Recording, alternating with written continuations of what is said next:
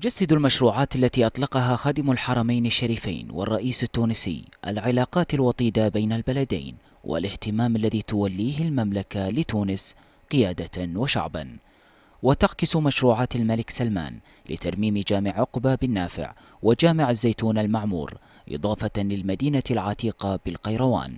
العناية التي يوليها خادم الحرمين الشريفين للمساجد التاريخية وإظهار قيمها الدينية والحضارية وترسيخ رسالة المحبة والسلام.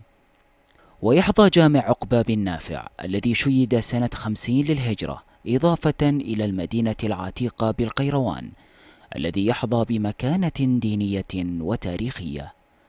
ونوه التونسيون ببادرة المملكة التي تؤكد على الاهتمام بالتراث الديني والمحافظة على هوية مدينة القيروان كإحدى المعالم الحضارية الإسلامية. وتبلغ مساحة جامع الزيتون المعمور خمسة آلاف متر مربع ويعد الجامع الرئيسي في مدينة تونس العتيقة وأكبرها.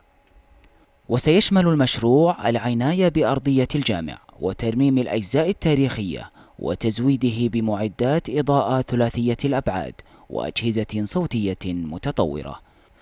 ويمتد عطاء المملكة إلى تجهيز مستشفى الملك سلمان الجامعي بالقيروان بتكلفة 85 مليون دولار لتصل طاقته الاستيعابية إلى 500 سرير في نقلة نوعية تتلمس صحة المواطن التونسي.